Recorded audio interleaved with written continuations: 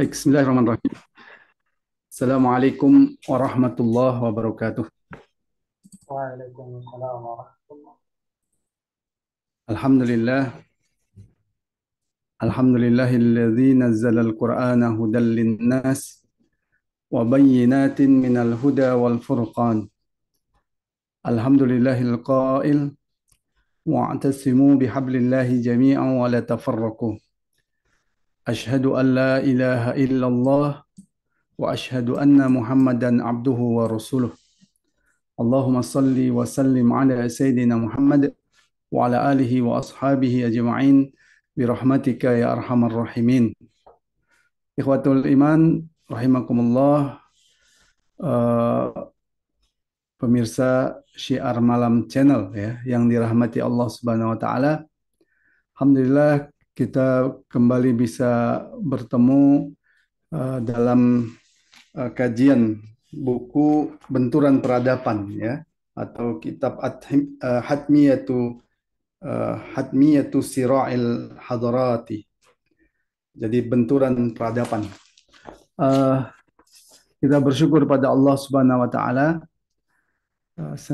bahwa kita sentiasa dilimpahkan Allah Subhanahu wa taala dengan demikian banyak kenikmatan dan tentu nikmat yang terbesar adalah nikmat Islam yang dengan itu kita memiliki pegangan hidup yang jelas Uh, pandangan hidup yang jelas, tujuan hidup yang jelas.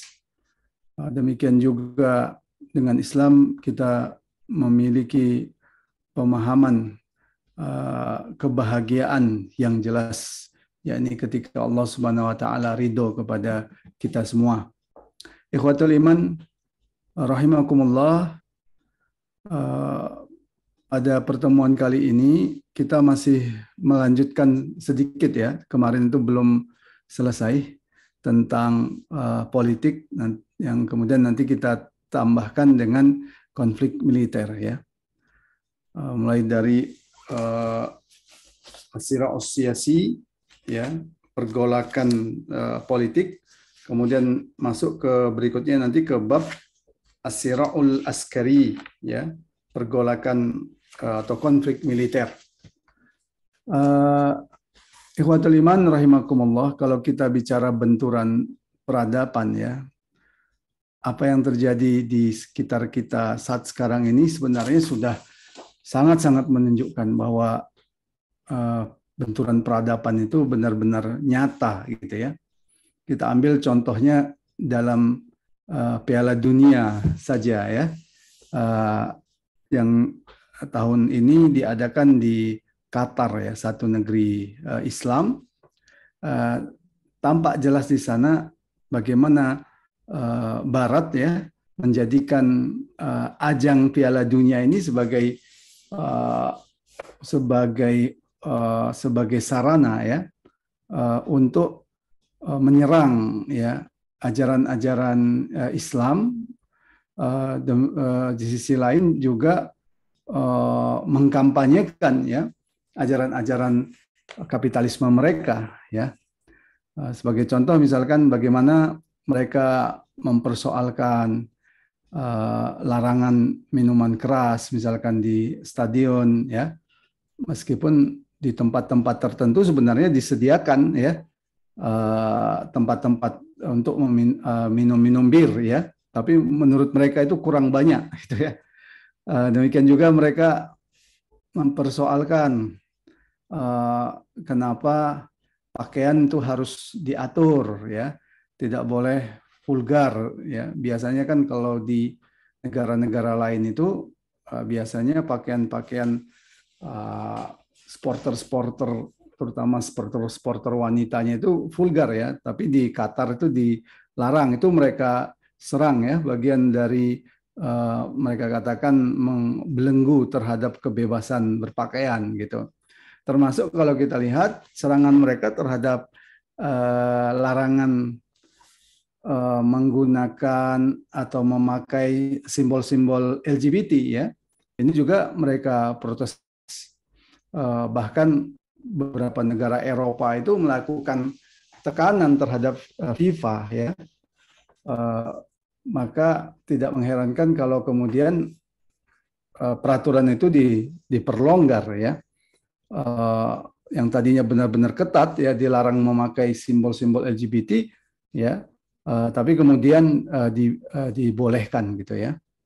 Uh, uh, demikian juga uh, uh, pemisahan ya pemisahan tempat tempat masuk antara laki-laki dan uh, perempuan ini ini pun mereka uh, mereka persoalkan ya. Jadi uh, sebenarnya apa yang terjadi dalam Piala Dunia itu sudah mencerminkan adanya pertarungan antara antara Islam dan nilai-nilai Barat ya Walaupun sebenarnya Qatar ya tidak bisa dikatakan uh, mencerminkan sepenuhnya ya nilai-nilai Islam sebagai negara yang benar-benar menerapkan syariat Islam ya.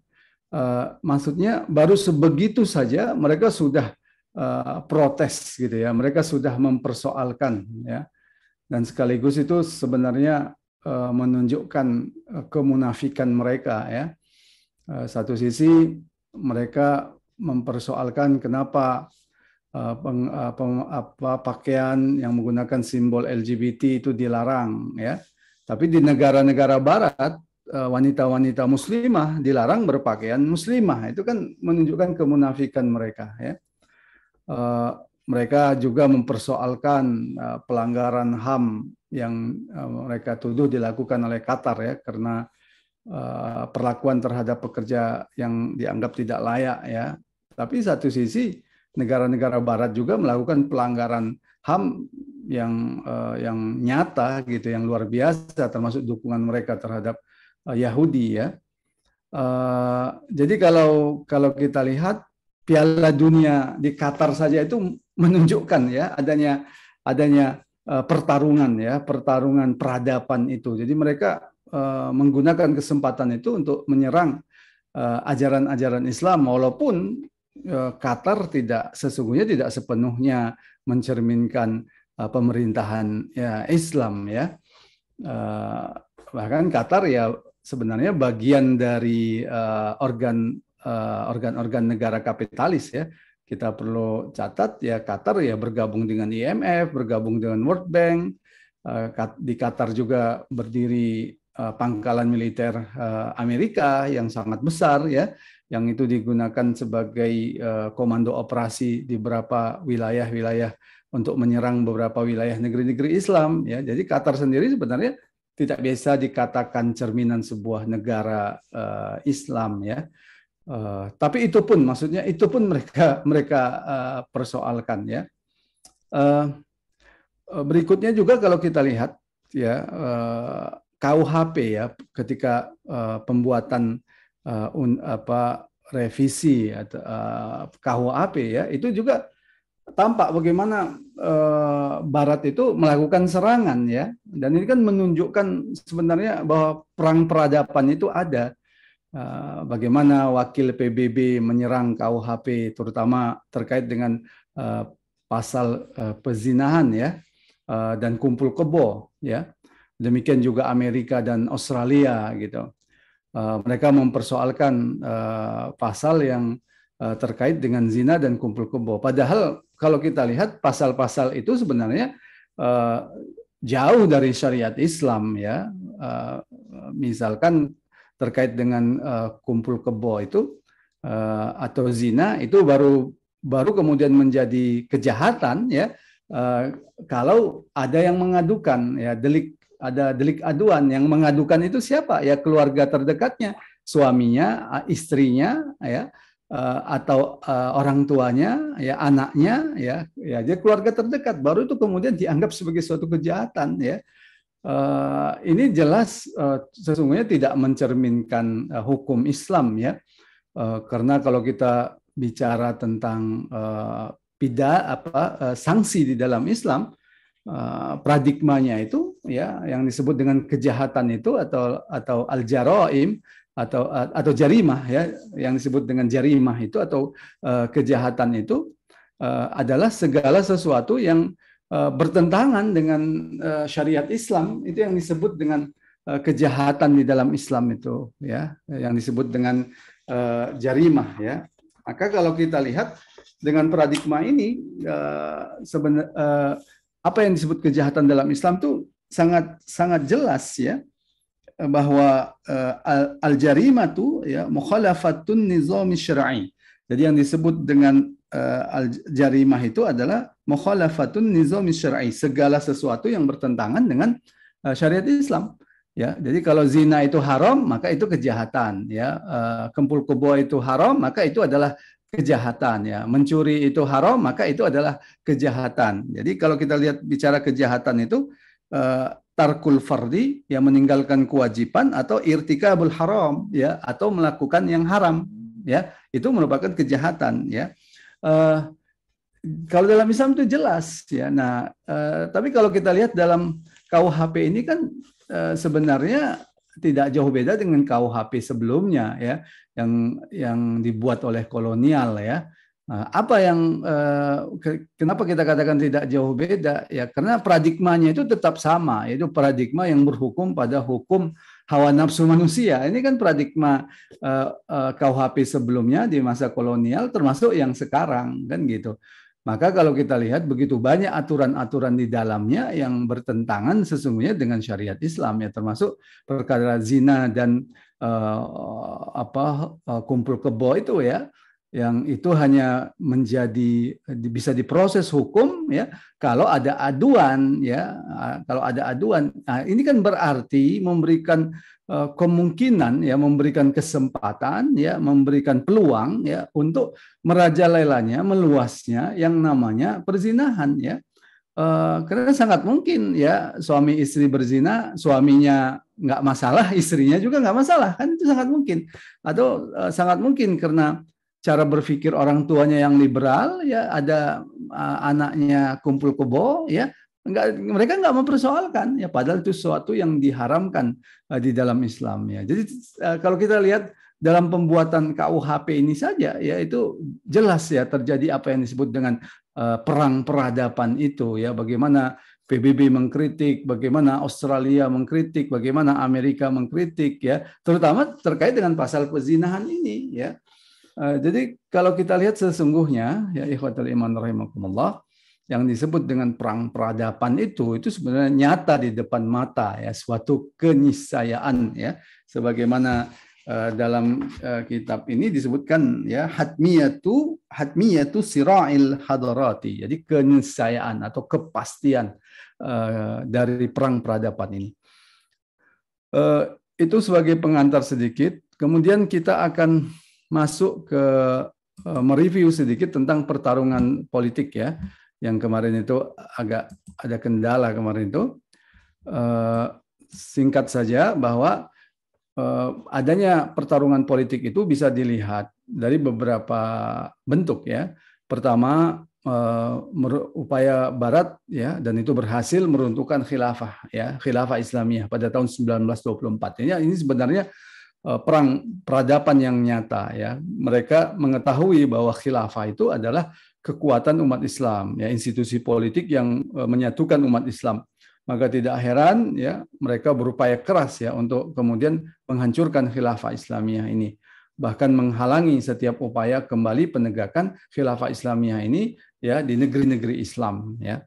Kemudian yang kedua mereka juga mendirikan negara Yahudi di tanah Palestina ya Uh, ini tidak lain ya untuk menanamkan duri ya dalam uh, daging uh, di tengah-tengah kaum muslimin sehingga entitas penjajah Yahudi ini kemudian terus-menerus menimbulkan konflik ya di di Timur Tengah dan itu kemudian menjadi apa legitimasi bagi negara-negara barat ya untuk masuk ke wilayah Timur Tengah ya.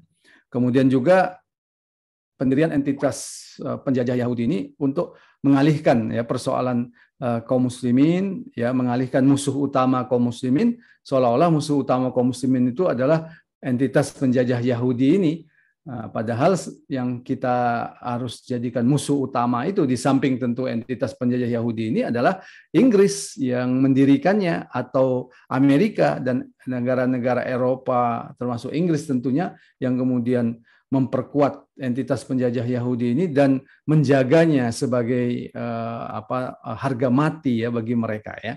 Kemudian bagaimana Barat kemudian memecah belah ya negeri-negeri Islam ya dengan uh, menanamkan uh, virus uh, atau racun uh, pemahaman uh, nasionalisme yang sempit ya yang itu kemudian memecah belah negeri-negeri Islam atas dasar kesukuan, atas dasar kabilah, atas dasar kebangsaan ya menjadi negara-negara yang kecil ya. Ini sebenarnya bagian dari pertarungan politik itu.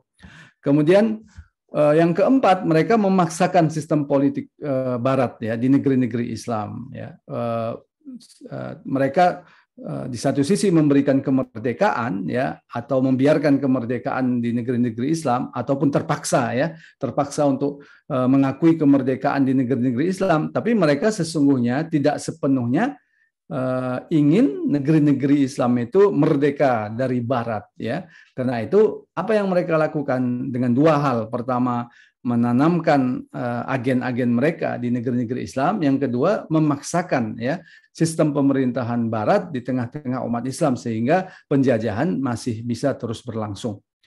Uh, itu berikutnya yang kelima ya uh, bentuk pertarungan politik ya Eh, itu adalah memerangi gerakan-gerakan Islam ya yang yang serius untuk memperjuangkan uh, khilafah Islam ya. Sebagaimana yang mereka mereka lakukan di Timur Tengah misalkan uh, upaya uh, membendung ya tegaknya khilafah itu menjadi kepentingan ya kepentingan uh, uh, salah satu dari tiga kepentingan utama negara-negara Barat di Timur Tengah ya di samping menjaga suplai eh, minyak dan energi. Eh, yang kedua adalah mempertahankan eksistensi penjajah Yahudi. Yang ketiga itu adalah menghalangi ya munculnya gerakan-gerakan politik yang ingin kembali menyatukan umat Islam di bawah naungan al-khilafah ya. jadi ini bagian dari pertarungan politik ya. Maka tidak heran kalau ya hampir semua penguasa-penguasa di negeri-negeri Islam yang itu merupakan agen-agen uh, penjajah ya itu uh, kemudian uh, apa bertindak represif ya bertindak keras ya terhadap umat Islam.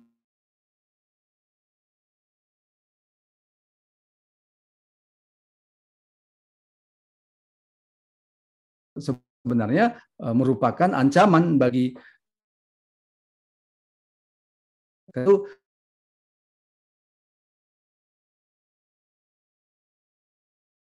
eh, negara khilafah Roshidah ya. Nah, kebanyakan perlawanan ini dilakukan melalui agen-agen mereka, jarang secara langsung ya. Ini yang pernah dikatakan oleh uh, Martin Indik ya, uh, pejabat Gedung Putih. Ya, dia mengatakan uh, tantangan yang paling besar yang dihadapi Amerika di belahan dunia bagian timur adalah membantu negara-negara sahabat untuk menghalangi ekstremisme. Ya, ini bahasa diplomasi ya. Uh, pertama siapa yang mereka sebut negara sahabat itu artinya negara yang mereka kendalikan, yang mereka kontrol. Itulah yang tunduk kepada mereka. Itulah yang disebut dengan negara sahabat. Nah, dan apa yang mereka sebut dengan ekstremisme itu adalah upaya untuk penegakan Islam, penegakan syariat Islam, ya, penegakan khilafah Islam. Itulah yang mereka sebut sebagai ekstremisme. Ya, ini bahasa diplomasi mereka. Nah, bagaimana pola hubungan Amerika dengan agen-agennya? Ini penting kita uh, ingatkan kembali ya. Uh, bila mereka tidak bisa menghalangi gerakan tersebut, ya mereka akan memberikan tekanan yang keras dan jahat lewat tangan agen-agen mereka dari kalangan moderat progresif ya. Jadi hampir di seluruh negeri-negeri Islam ya kelompok-kelompok yang memperjuangkan syariat Islam itu akan mendapatkan tekanan ya dari kelompok-kelompok dari kelompok ataupun dari rezim atau negara yang mengusung eh, isu-isu uh, moderat ya yang yang uh, yang uh, di mana pengusung isu-isu moderat ini menjadikan kelompok-kelompok Islam yang memperjuangkan syariah, memperjuangkan khilafah Islam itu sebagai musuh utama mereka. Ya, jadi ini sebenarnya uh, merupakan bagian dari rancangan Barat ya untuk memerangi upaya umat Islam untuk menegakkan kembali khilafah. Ya, ini yang dinyatakan oleh Nixon ya uh, dalam buku uh, dalam bukunya The Favorable Opportunity. Dia mengatakan keterkaitan para politisi di berbagai negara Muslim dengan Islam tidak lebih dari sekedar keterkaitan mereka dengan cita-cita, tradisi dan norma Islam. Nah, kemudian dia katakan kalangan progresif adalah kelompok yang kegiatannya nyata ya, dan berusaha sekuat tenaga menghubungkan kaum muslimin dengan dunia politik dan ekonomi yang beradab ya. Nah, ini juga bahasa propaganda mereka ya.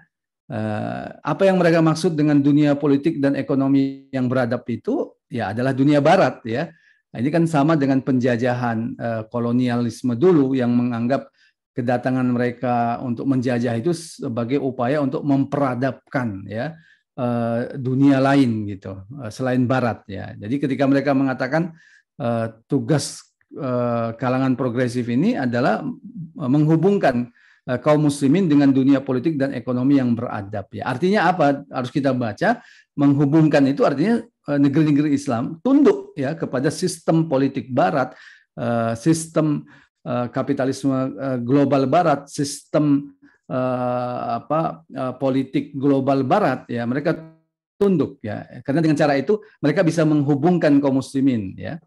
Nah dia katakan juga ya bahwa kelompok ini ya kelompok progresif ini dicirikan dengan fleksibilitasnya ya. Jadi Eh, berbeda dengan kelompok Islam yang mereka tuding garis keras ya. Jadi ini garis fleksibel gitu ya. Artinya apa? Ya tidak memiliki pegangan yang teguh kepada agamanya ya. Mereka bisa ke kiri, bisa ke kanan ya, pragmatis ya. Eh, bahkan disebutkan oleh Nixon mereka menganggap barat itu tidak kafir ya, tapi mereka menyebutnya sebagai kaum ahlul kitab ya.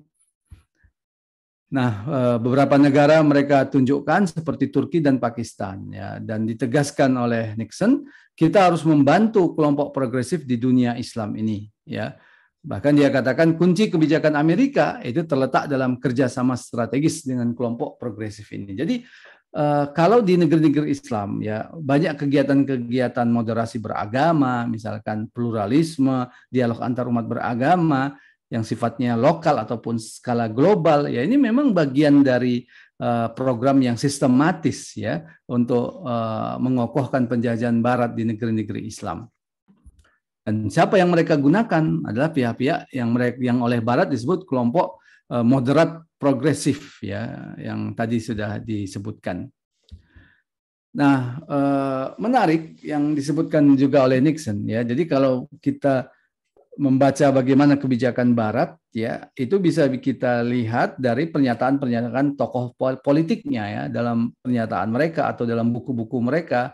Ya itu paling tidak kita bisa memberikan gambaran ya, mendapatkan gambaran maksudnya uh, tentang bagaimana pola-pola penjajahan mereka ya. Dan salah satu yang dikatakan oleh Nixon itu adalah hubungan antara Amerika dengan negara sahabat ya itu tidak boleh sampai pada tingkat perwalian ya uh, guardianship ya artinya jangan jangan seperti negara uh, yang uh, model apa perwalian ya di mana negara barat itu menjadi negara uh, uh, yang memproteksi mereka yang melindungi mereka dikatakan tidak seperti itu dan kita tidak boleh memperlakukan para penguasa di negara progresif itu sebagai koresponden antara kita dengan rakyat mereka namun kita harus memperlakukan mereka sebagai mitra yang sejajar. Ya, tanda kutip ya, ini seolah-olah mitra yang sejajar. Jadi sehingga kelihatan ya penguasa-penguasa negeri Islam itu sepertinya berwibawa, sepertinya independen ya, sepertinya punya uh, uh, punya uh, perlaw bisa memiliki kekuatan perlawanan terhadap Barat ya, maka uh, mereka diposisikan dengan mitra yang sejajar ya. Mereka duduk bersama ya di forum-forum internasional ya. Uh, seolah-olah mitra yang sejajar padahal hubungan antara negara barat dan eh, negeri-negeri uh, selain barat itu sebenarnya hubungan penjajahan ya bukan mitra yang sejajar tapi supaya kemudian penguasa-penguasa yang menjadi boneka ini uh, dianggap berwibawa ya dia seolah-olah memiliki kekuatan politik yang berpengaruh yang memiliki citra internasional ya maka didudukkanlah boneka-boneka ini dalam forum-forum internasional seolah-olah mitra yang sejajar ya. Uh, disebutkan juga oleh Nixon sebab cara yang paling cepat untuk mengubur mereka itu adalah dengan memperlakukan mereka sebagai corong propaganda barat ya. Nah, ini catatannya. Yang berikutnya yang keenam ya strategi politik atau pergolakan politik itu adalah mendirikan PBB ya dengan dewan keamanannya untuk memberikan legitimasi kepada barat uh, dalam kejahatan mereka ya uh, terhadap negeri-negeri Islam ketika mereka melakukan intervensi ya. Mereka akan mengatasnamakan eh, PBB ya. Uh, namun demikian bila itu tidak bisa dilakukan ya maka negara-negara uh, barat seperti Amerika tidak uh, tidak masalah ya untuk kemudian melakukan tindakan sepihak ya yang disebut dengan uh, tindakan unilateral ya. Uh, tanpa kemudian melibatkan PBB ya. Atau kemudian diserang dulu baru kemudian mencari legitimasi PBB ya. Uh, tidak menunggu legitimasi PBB dulu tapi serang dulu baru kemudian uh, mencari legitimasi PBB ya.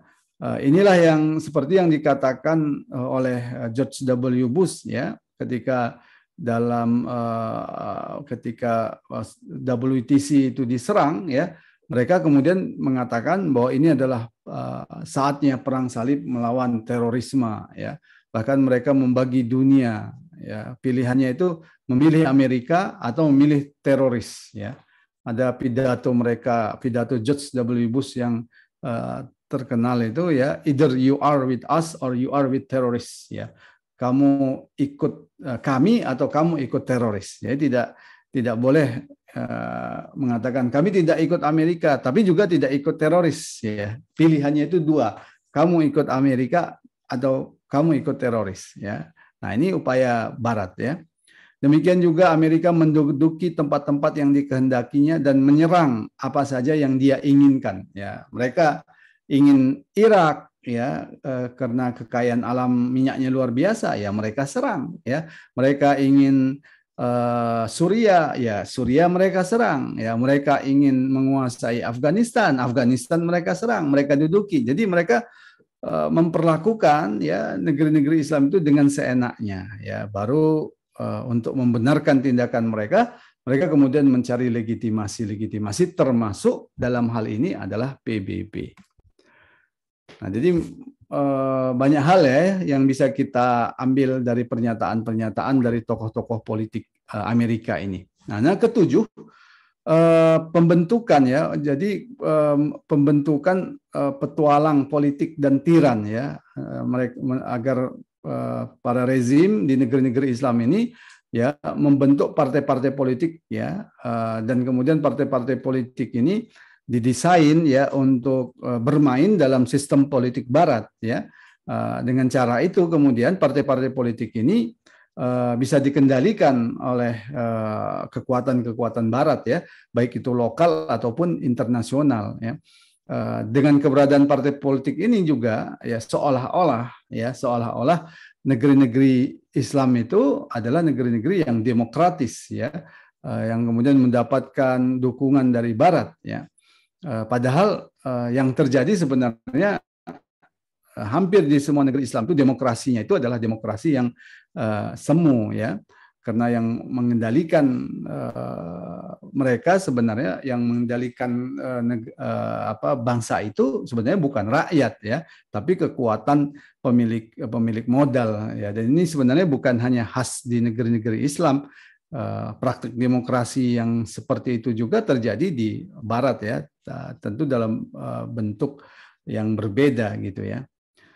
Nah, jadi pembentukan eh, sistem politik di negeri-negeri Islam itu bagian ya yang sejalan dengan kepentingan Barat itu bagian dari cara Barat dalam apa yang kita sebut sebagai uh, ya atau perang politik ya Nah, kemudian kita masuk ke konflik militer ya. Nah, eh, dalam buku ini juga ya dikatakan bahwa uh, konflik militer ya atau uh, kalau di sini uh, di, diistilahkan sebagai uh, asiraul askari ya. Jadi konflik militer atau pertarungan militer ini ini juga sebuah keniscayaan. Ya, khususnya dalam dalam apa? dalam uh, antara peradaban Islam ya dengan peradaban Barat ya. Nanti kita akan tunjukkan itu uh, di samping itu nanti ada poin di mana dibahas juga dalam buku ini ya adanya pihak yang menyangkal ya kewajiban perang ofensif ya. Jadi mereka ingin menunjukkan bahwa Islam itu sebenarnya negara uh, agama yang damai ya. Uh, uh, tidak mewajibkan perang ya. Perang juga kalau kalau dalam pandangan yang mereka ingin bangun itu eh, perang untuk defensif ya. Tidak ada perang yang sifatnya ofensif ya. Nanti akan dibahas dalam pertemuan berikutnya ya. Uh, lalu nanti akan kita lihat apakah Islam itu adalah agama teror ya. Nah, untuk yang pertama ini kita masuk dulu bentuk-bentuk penjajahan militer ya atau asirul askari pergolakan uh, pertarungan uh, militer itu seperti apa penjajahan yang dilakukan oleh Barat di negeri-negeri Islam itu seperti apa ya. Dan kalau kita lihat ya penjajahan di negeri-negeri Islam itu baik dilakukan oleh Barat ataupun pihak-pihak lain ya itu sesuatu yang nyata ya ini dulu yang penting ya. Jadi jangan seolah-olah negeri-negeri Islam itu eh, adalah negeri-negeri yang benar-benar merdeka ya.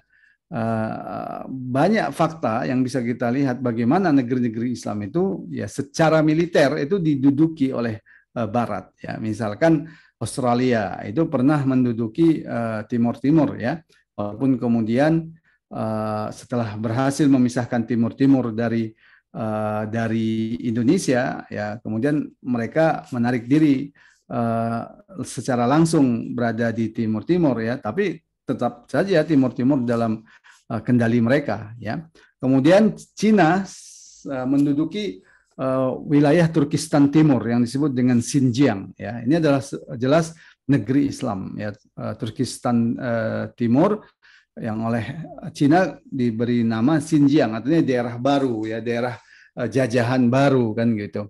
Uh, Rusia itu menduduki wilayah-wilayah negeri Islam seperti Kaukasus, ya, Crimea, Khazan, ya, dan tempat-tempat uh, lainnya, ya. Ini tentu juga merupakan bentuk penjajahan yang nyata, ya.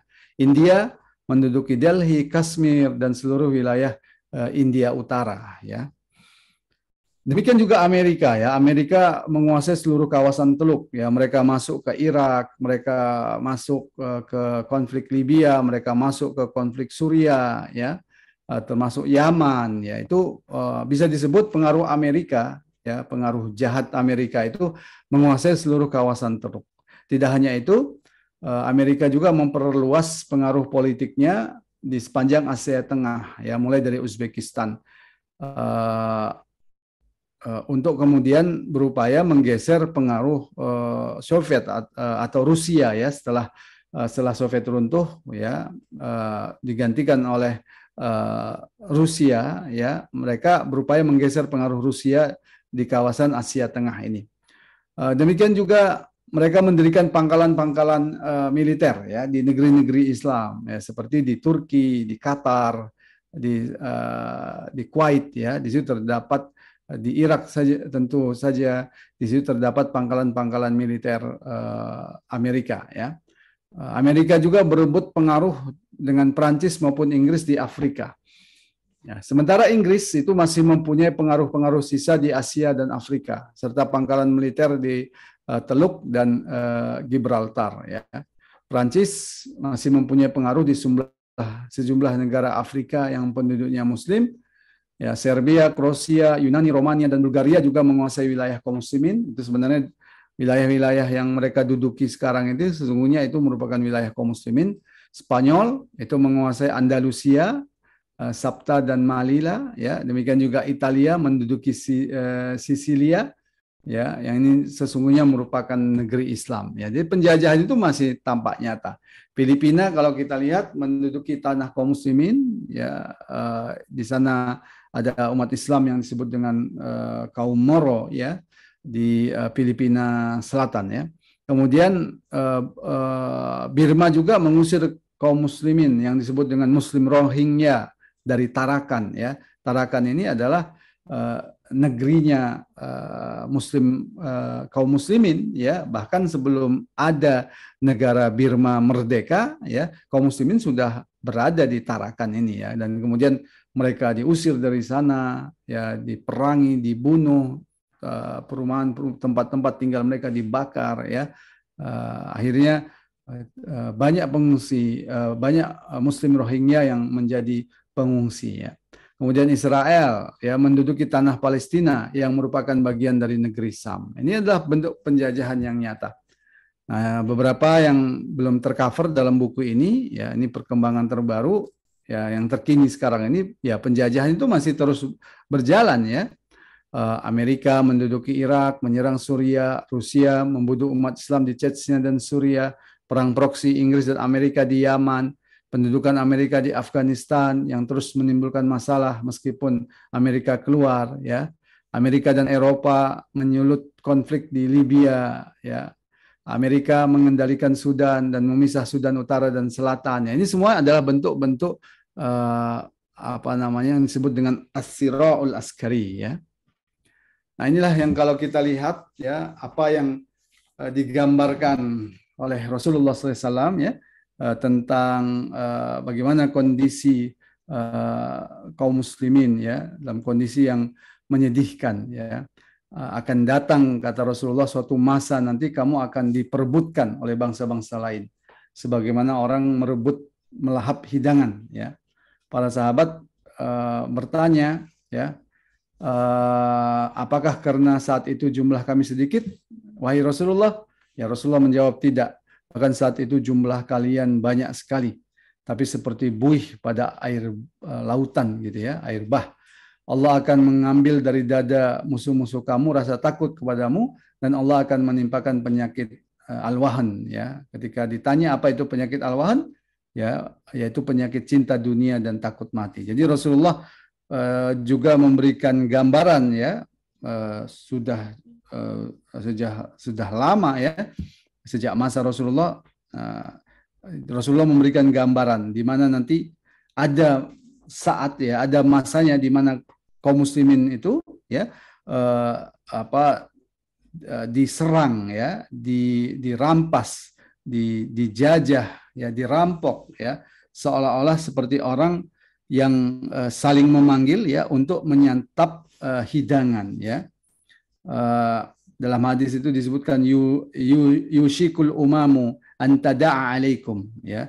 Jadi mereka itu menyerang kaum muslimin ya, mereka itu menyerang kaum muslimin sambil memanggil ya, memanggil teman-teman mereka ya, memanggil uh, sahib-sahib mereka ya untuk kemudian menyerang kaum muslimin. Sebagaimana orang saling memanggil ya untuk uh, menyantap hidangan ya kama tada'al uh, akalatu uh, ila qas'atiha ya. Jadi seperti itu gambaran uh, uh, kondisi kaum muslimin ya yang tampaknya uh, mirip dengan kondisi saat sekarang ini ya.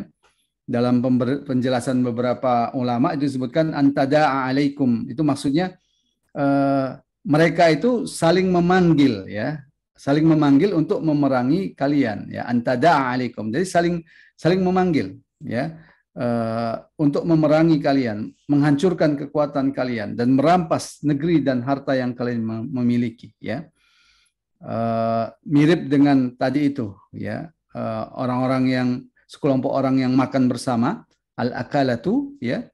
Uh, kemudian mereka itu uh, apa namanya saling memanggil untuk uh, makan ya.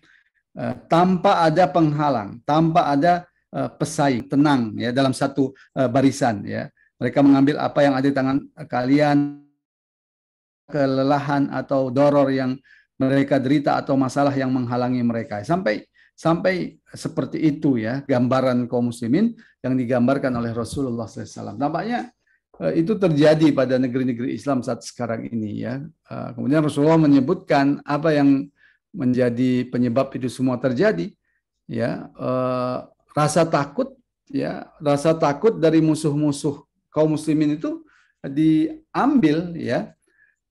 Kenapa musuh-musuh kaum muslimin itu ya musuh-musuh Islam itu rasa takutnya diambil?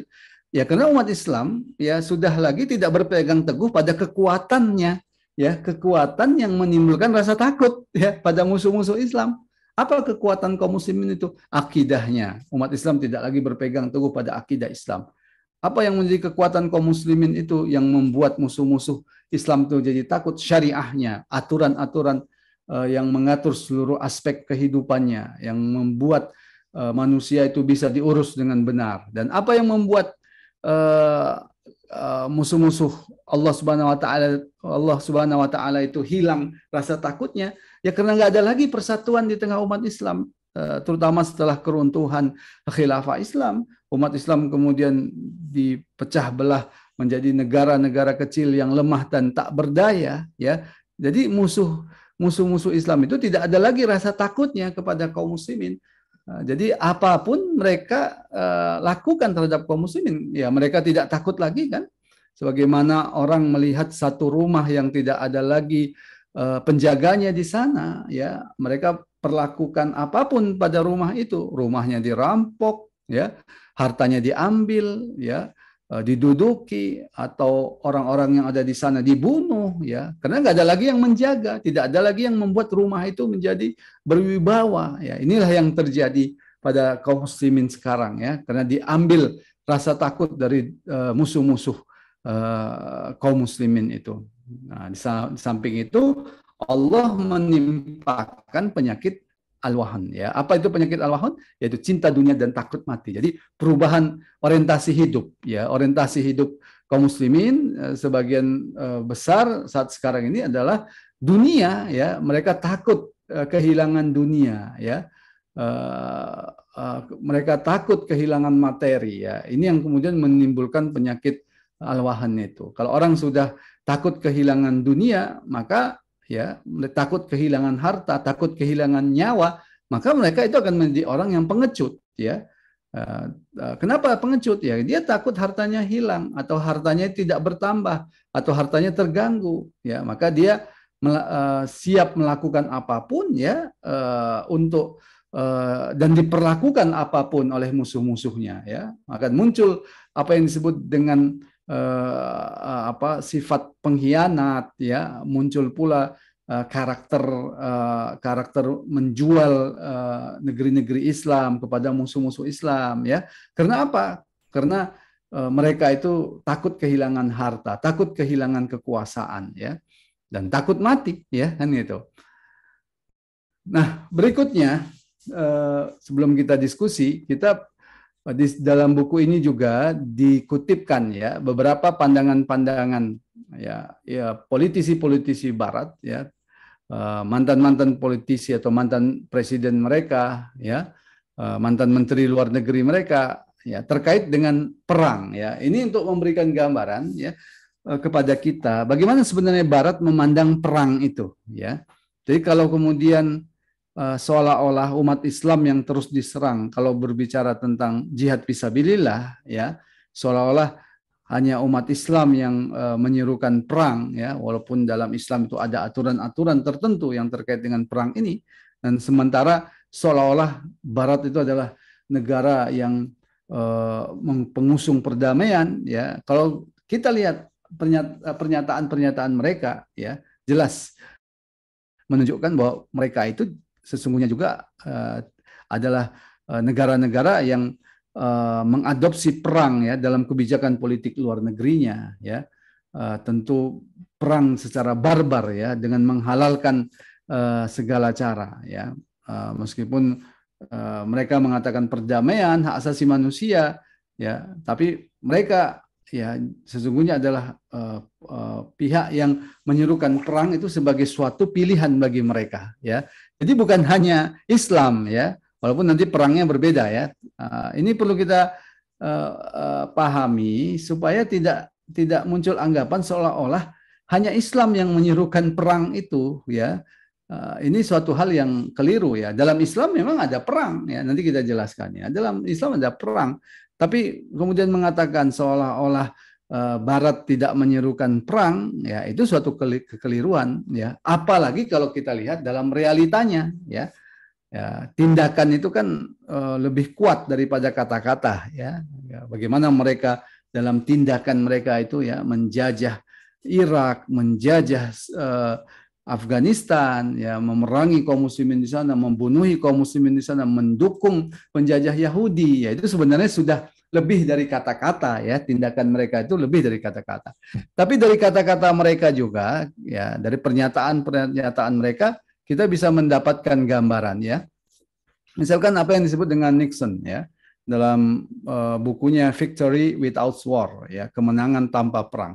Jadi disebutkan uh, di buku ini dikutipkan ya kejayaan yang sesungguhnya itu tidak diperoleh dengan menghindari konflik ya tapi dengan peperangan yang hebat demi prinsip kepentingan dan sahabat kita. Nah, kita harus menurutnya kita harus membuang angan-angan bagaimana seharusnya dunia ini berjalan. Bangsa Amerika cenderung mempunyai keyakinan bahwa konflik adalah sesuatu yang tidak wajar. Maka bahwa rakyat di setiap bangsa pada dasarnya mirip, sedangkan perbedaannya hanya disebabkan karena kesalahpahaman. Ya, jadi sangat jelas mengatakan di sini disebutkan kejayaan itu tidak eh, diperoleh dengan menghindari konflik. Jadi konflik itu suatu yang niscaya. Nah, masalahnya kita berpihak pada apa ini? Berpihak pada kebenaran atau berpihak pada kebatilan itu saja. Mereka juga menganggap ya ini masih pernyataan Nixon ini ya bahwa perdamaian abadi dan menyeluruh merupakan suatu tujuan yang bisa dicapai. Nah, kemudian dia bantah ya. Sejarah membuktikan pandangan itu keliru. Jadi yang disebut dengan dunia yang damai itu tanpa perang itu sebenarnya pandangan yang keliru. Nah, kenapa? Kalau karena menurut Nixon masing-masing negara itu berbeda satu dengan yang lain dalam aspek yang fundamental, konvensi politik, pengalaman sejarah, motivasi ideologinya. Nah, padahal inilah aspek-aspek yang bisa melahirkan konflik ya. Uh, adanya kepentingan yang saling berbenturan dan fakta yang kita pahami bersama telah memicu perselisihan dan akhirnya peperangan. Ya ya karena masing-masing negara ini berbeda ya dari segi aspek fundamental ya uh, konvensi politik ya pengalaman sejarah ideologinya berbeda.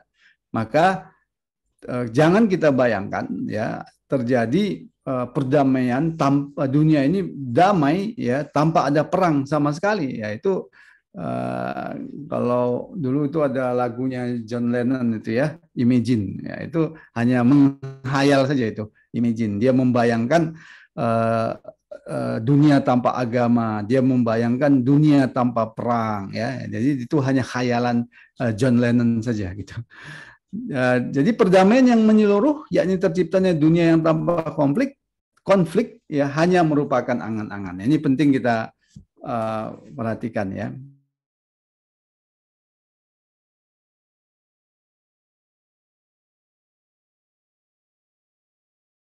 Demikian juga kan uh, tahu bahwa setiap negara itu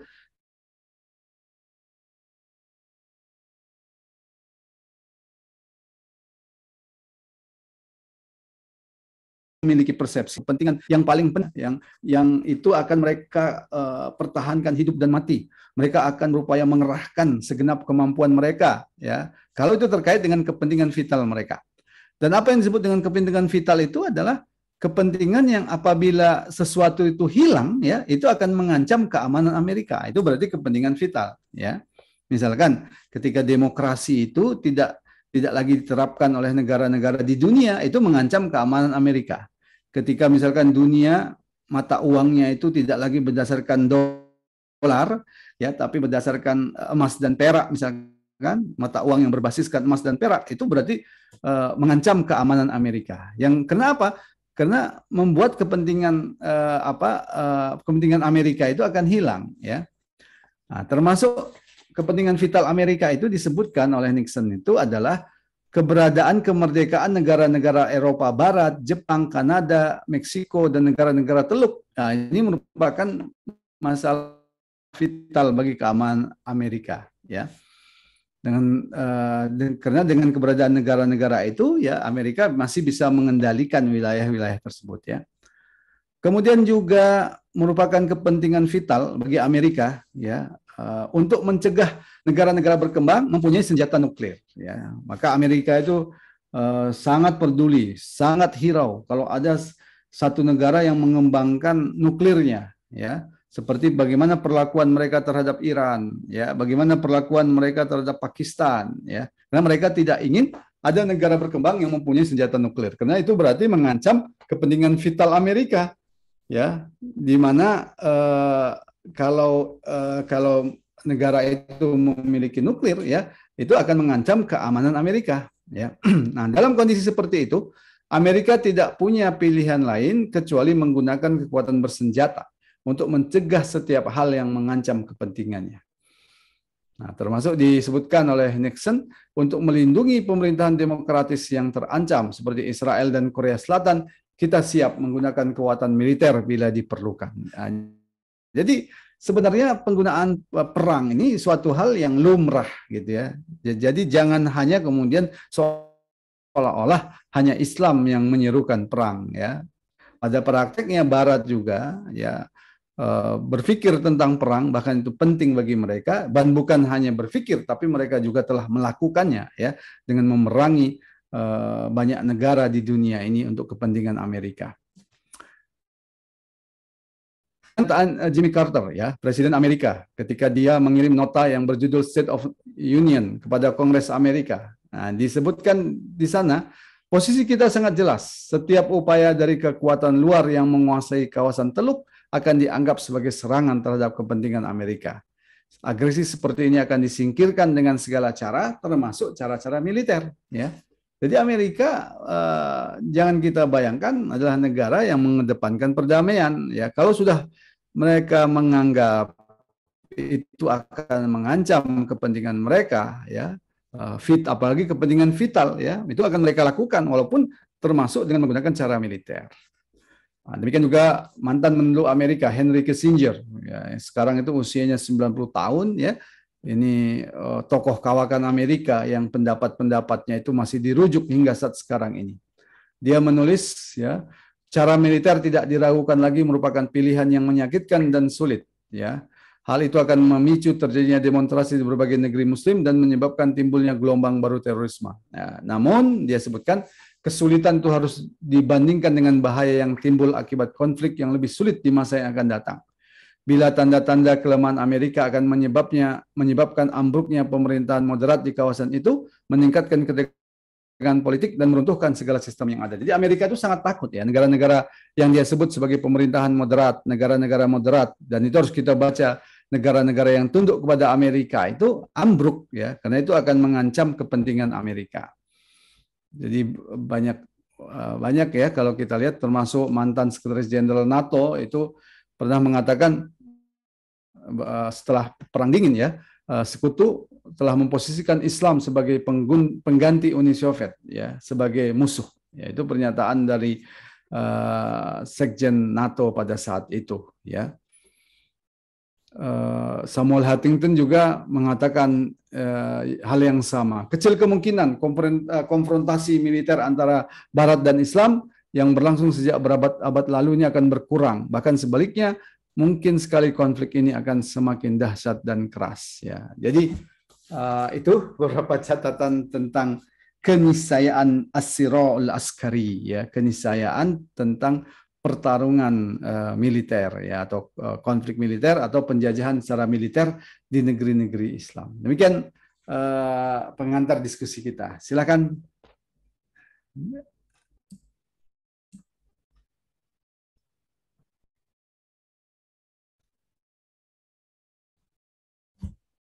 Mungkin ada yang bertanya. Nih, hostnya tadi siapa? Ya, silakan. Betul. Ya, diambil alih Stoknya lagi di belakang. ya, Alhamdulillah Bapak Ibu, jemaah sekalian, eh, berkaitan dengan diskusi kita atau pemaparan Ustaz.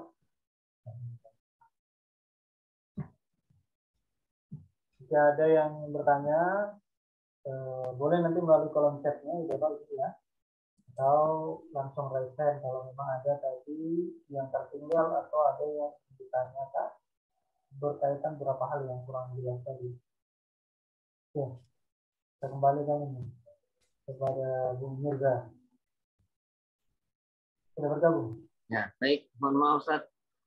Karena cuacanya hujan, jadi bawaannya mau ke kamar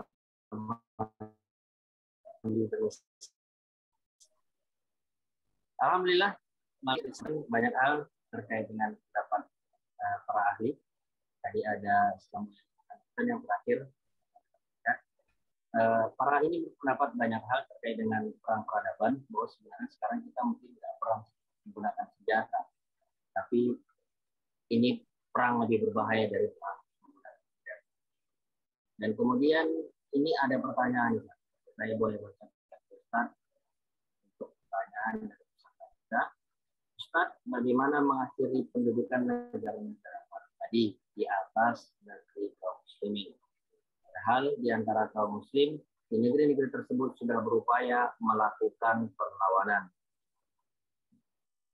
Ya, uh, baik. Untuk menjawab pertanyaan itu, ya kita tentu harus mengetahui apa sebenarnya uh, pilar-pilar penjajahan di negeri-negeri Islam, ya, yang membuat penjajahan itu kokoh dan terus berlanjut, ya. Kalau kita lihat Eh, pada prinsipnya pilarnya itu ada dua ya. Pertama adalah pilar sistem ya. Bagaimana kemudian Barat mencangkokkan ya sistem uh, ideologi kapitalisme mereka di negeri-negeri Islam ya. Uh, de, uh, ideologi kapitalisme ya politiknya uh, liberal ya demokrasi hak asasi manusia pluralisme ekonominya uh, ekonomi yang liberal ya. Di, di dalamnya ada privatisasi di dalamnya ada uh, pasar bebas ya. Uh, kemudian membangun uh, sistem politik yang sekuler ya yang memisahkan agama dari kehidupan. Nah, jadi sistem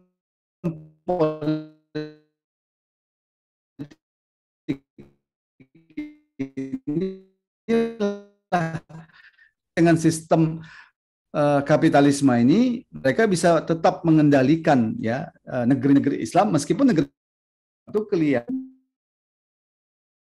Toh misalnya sistem uh, kapitalisme itu memberikan jalan bagi mereka untuk mengeksploitasi kekayaan alam negeri Islam.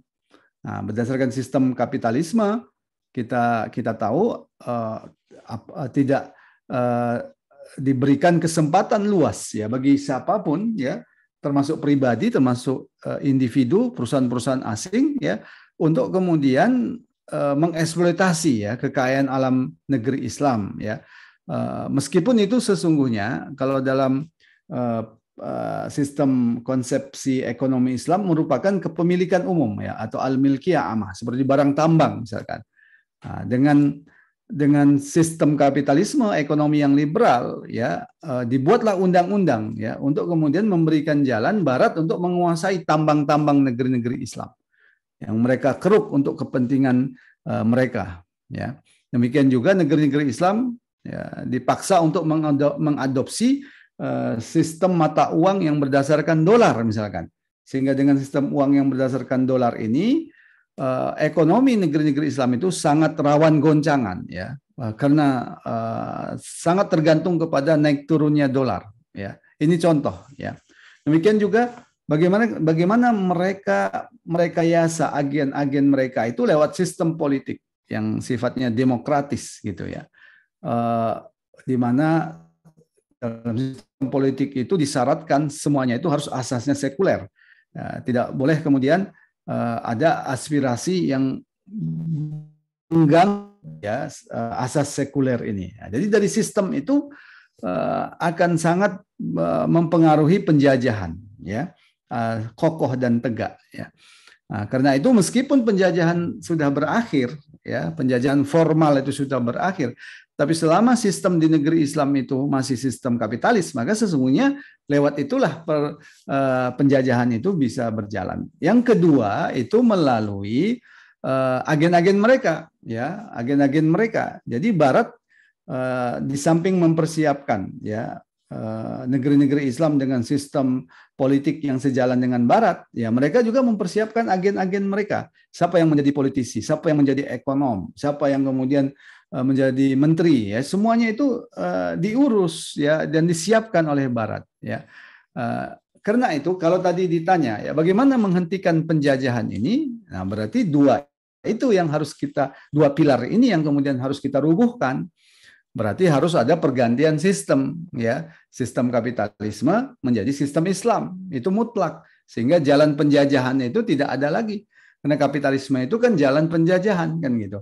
Yang kedua, eh, para penguasa-penguasa yang merupakan boneka-boneka barat ya, yang agen-agen barat yang mereka itu lebih lebih rela men, mencari keridoan dari tuan-tuan mereka daripada memperhatikan rakyat mereka sendiri bahkan mereka tidak segan untuk membunuh rakyat mereka sendiri ya ini tidak layak untuk diangkat tidak layak untuk tetap menjadi pemimpin ya. Nah, di situlah kenapa kemudian ya perjuangan penegakan khilafah ala haji nubuah ini menjadi sangat penting untuk menghentikan penjajahan barat itu karena dengan tegaknya khilafah Islam itu dua pilar itu akan berubah. Sistemnya berubah, ya. Rezim yang berkuasa juga berubah, yaitu rezim yang tunduk kepada kepentingan-kepentingan barat, ya. Saya kira itu eh, kalau kita ingin uh, apa tadi menghentikan penjajahan di negeri Islam. Dua pilar itu yang kemudian harus diruntuhkan, ya. Demikian. Ya, baik. Alhamdulillah, saya sudah jelaskan panjang lebar oleh Ustaz terkait dengan pilar-pilar pengokoh. Ini bukan pilar-pilar pengokoh nafsi ya, Ustaz ya, tapi pilar-pilar yeah. pengokoh penjajahan, gitu, Masya Allah.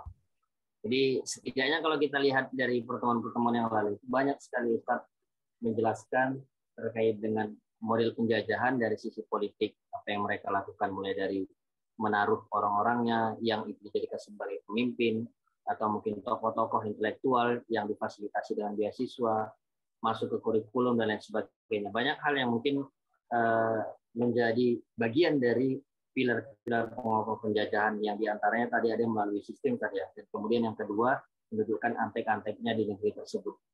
Uh, kepada para peserta yang lain yang tertinggal juga boleh untuk mengirimkan pertanyaannya dan boleh langsung menghidupkan mikrofonnya. Untuk yang apa untuk yang bisa boleh menghidupkan mikrofon saja tanpa menghidupkan kamera. Untuk yang laki-laki, untuk yang bapak-bapaknya boleh menghidupkan kameranya juga. Ustaz, kedengaran suara saya Ustaz. Di sini hujannya lebat sekali Ustaz. Ya, dengar, dengar. Jelas.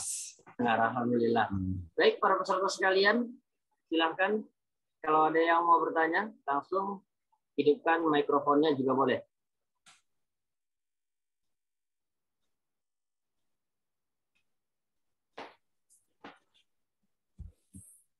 Ya, silakan. Waktu kita masih masih ada nih. Mumpung Ustadz masih siap untuk menjawab pertanyaan-pertanyaan. Ya, betul. Kalau nggak ada berarti jelas. Alhamdulillah. Kita lanjutkan. Itu saat kendangnya. Ya. Kalau nggak ada jelas atau mungkin nggak masuk sama sekali. Insya Allah masuk lah ya. Ya, alhamdulillah. Ini uh, sudah jelas, alhamdulillah. Baik. kalau memang nggak ada, Ustadz mungkin kasih closing statement dulu, Ustadz. Iya. Uh, ada satu uh, tulisan ya dari uh, Syekh Taqiyuddin An-Nabahani rahimahullah yang itu menjadi perkara yang penting ya bahkan bisa disebut intisari ya intisari dari uh, penyebab berbagai krisis di tengah-tengah umat Islam itu dalam kitabnya Nida Uhar ya. Apa yang dikatakan oleh uh, Syekh Taqiyuddin An-Nabahani uh, rahimahullah beliau menyatakan bahwa innal ummatal islamiyata mangkubatun bi balaaini. Jadi umat Islam itu pada saat sekarang ini ya mengalami tragedi dengan dua bala ya, dengan dua ujian ya.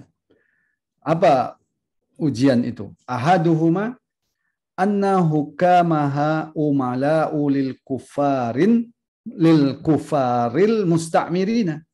Yang pertama itu bahwa penguasa-penguasa di negeri-negeri Islam itu menjadi boneka-boneka penjajah kafir. Ya, nah, itu yang tadi kita sebutkan ya, problem uh, rezim. Ya, wasaniuha yang kedua itu adalah annahatuh kamu bi ghairi ma anzalallah Negeri-negeri Islam itu sebagian besar dihukumi dengan hukum-hukum selain hukum Allah. Ai tuhkamu binizami kufrin yakni dihukumi dengan hukum kufur. Ya, tadi kita bicara problem sistem ya. Jadi uh, sejalan dengan apa yang tadi kita jelaskan, nah inilah yang menjadi pangkal persoalan di negeri-negeri Islam. Selama dua pangkal persoalan ini tidak diselesaikan, maka negeri-negeri Islam akan menjadi wilayah-wilayah yang menjadi objek jarahan Barat ya dalam perang peradaban mereka. Kira-kira begitu. Terima kasih. Assalamualaikum warahmatullahi wabarakatuh. Waalaikumsalam warahmatullahi wabarakatuh. Ya, jadi mudah-mudahan ini